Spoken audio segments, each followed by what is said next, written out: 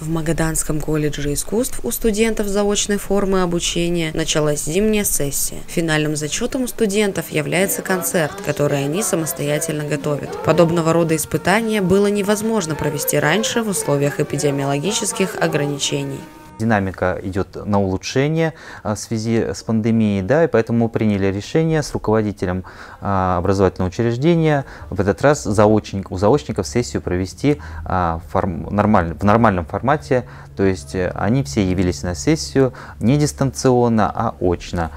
Инга Винокурова учится заочно на втором курсе отделения социально-культурной деятельности. Студентка поделилась своими впечатлениями со съемочной группой «Вечернего Магадана», как именно выглядела сессия на дистанционке.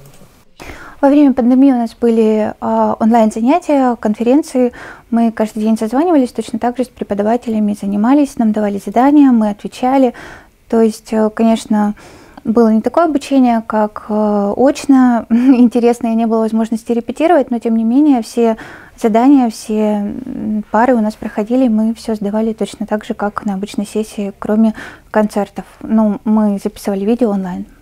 С 1977 года колледж выпускает организаторов в сфере культуры. По статистике учебного заведения, около 80% выпускников продолжают работать по специальности, получают дополнительное профессиональное образование. Некоторые из них теперь преподают в родном колледже. Мне очень а, радостно и отрадно отметить, что вот на нашем этаже, а, четвертый этаж занимает наше отделение, все преподаватели э, – это наши выпускники нашего отделения. Все абсолютно. И я в том числе. Я когда-то тоже закончила это училище.